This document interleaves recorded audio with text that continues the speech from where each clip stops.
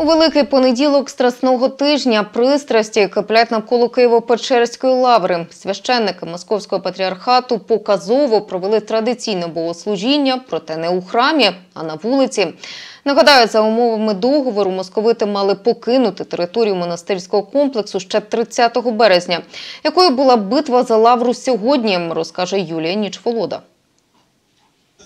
Ані дощ, ані відсутність доступу до храмів не завадили попам московського патріархату провести богослужіння на території лаври. Зібрання вірян просто небо у молитві навіть допомогло церковникам створити картинку мучеників. Пан Віталій, прихожанин православної церкви України, каже, що здогадується, для кого створюється така драматургія. Я рахую, що це шабаш е, під е, прикриттям ікон, молитв.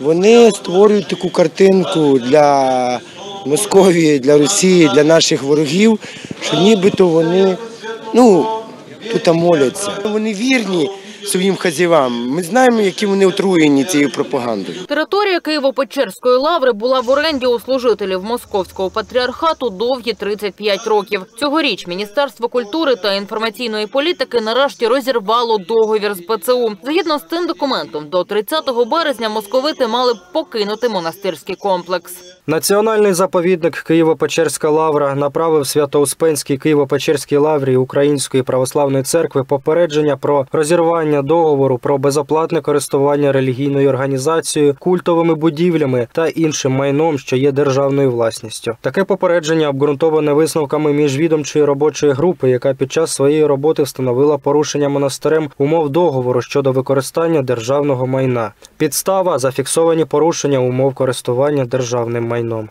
Крім того, недобра звістка прийшла й митрополиту УПЦ владиці Павлу, також відомому як Паша Мерседес. Служба безпеки України оголосила йому підозру. Його звинувачують у виправданні, визнанні правомірною та запереченні війни Росії проти України. Наразі суд вже обрав для владики запобіжний захід, домашній арешт на два місяці, а також зобов'язав його носити електронний браслет. На допит до СБУ викликали і активістку московського патріархату Вікторію Кохановську у якості свідка у кримінальній справі митрополита. Нині жінка продовжує організовувати мітинги біля лаври і заявляє про утиски церкви. Я не можу говорити точно, які питання. Можу сказати тільки одне по кримінальному провадженню владики Павла, яке є відкрите.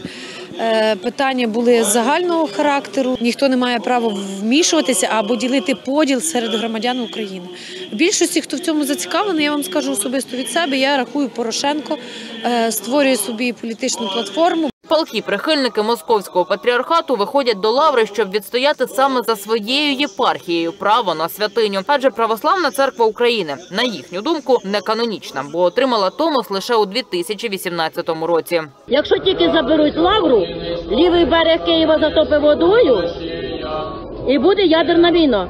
Лавру не можна в монахи забирати. Це я вам правду сказала.